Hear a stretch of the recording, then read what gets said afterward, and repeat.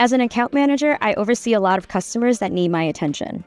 In the past, I would spend hours of manual research online or in Salesforce to see which accounts need me that day.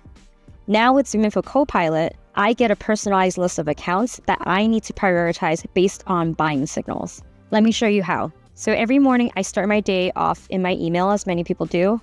I've set up email alerts so that I receive a ZoomInfo Weekly Target Accounts Digest every Tuesday morning. This is where I get my personalized experience of accounts that I should prioritize based on buying signals. So if you look at this example, Atrium Hospitality, there's actually been several buying signals um, that indicate that it's a good time for me to reach out. In the last seven days, they've researched topics that I care about sales intelligence and sales performance. They've also recently had hiring plans seeking a new director of sales and marketing. They visited our website, and in this case, Brandy Ann Reed is now promoted to VP of sales and marketing. And she is part of my buying committee. So now I would log into my ZoomInfo platform, and you'll notice that that same information from my email is mirrored here.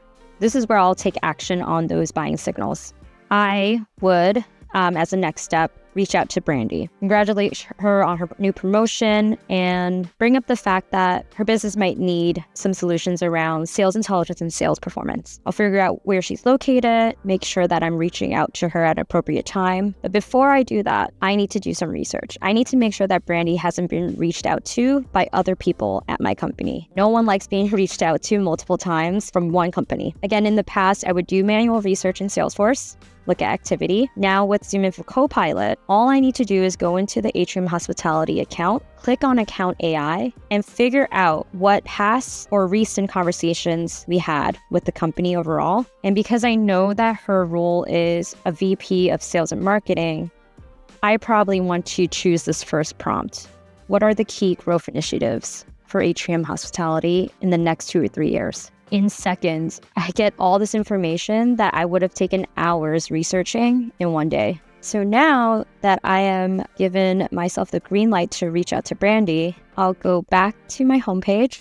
I'll click on her name, and right there in her quick view profile, I can send an email to her. This is where, again, that personalization comes in. We want to mention that she's been promoted. We want to mention that we sell solutions related to sales intelligence and sales performance. And I'm going to draft this again. If I like what I see, I will review it and I'll go ahead and send it. And that's how I save my time and prioritize my accounts using ZoomInfo Copilot. If you want to learn more, just click the link or reach out to any of us here. Thanks.